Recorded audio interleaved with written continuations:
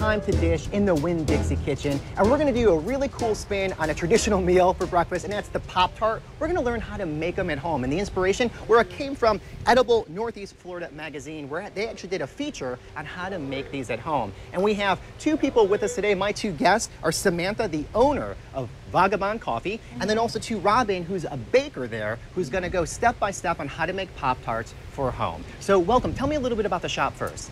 Yeah, so we started out in Hemming Park um, downtown, and we have a little caravan out there. And um, we started making Pop Tarts because we thought it'd be a fun, interesting uh, baked good. And then now we have our shop in Murray Hill. Oh, wow. And um, everyone loves the Pop Tarts, and they order them, they cater out, and it's been great. It's been a really fun thing to do. And it really is, it's just a favorite of everybody. It's, it's a comfort food. We all grew up with them, but these look a lot fancier. These are a lot better. Yeah, exactly, yeah. Yeah. Yeah, so, yeah. Robin, you're going to take us through kind of step by step on how we would make these at home, correct? Yeah.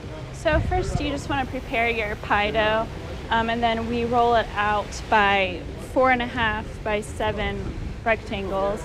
Um, so we just, you know, work the dough Yeah. and the flour. And again, so this is just pie dough to start out, right? Yeah. So anybody could buy pie dough. Buy it or make it yourself, whatever is easier for you. If you're busy and you know there's nothing wrong with the store-bought dough. Okay, and then once you flatten it out, then Yeah. So the next step yeah, would be your end result is like this. Yep.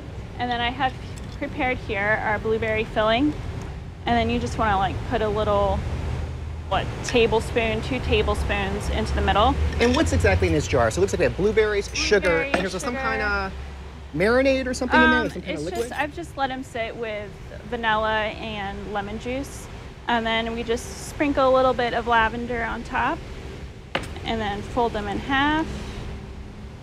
And then you can just take a fork to crease the edges.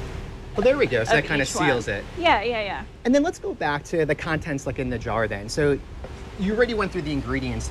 How long did you let it sit? Um, when I make them at the shop, or even if you make them at home, you could don't need to let it sit for any time. It's just gonna, you know, get all mixed together inside the pop tart and in the oven.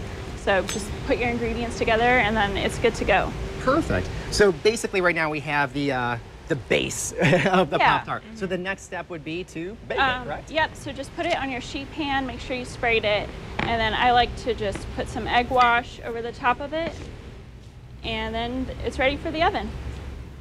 That looks good uncooked, so I know it's going to be delicious once it is cooked. Yeah. And then the final product would look something like, Like this. Yep. right? And then um, I like to just put a little bit of glaze on top of them. I like to put a lot of glaze on mine. Yeah, a little, a lot, whatever you want to do.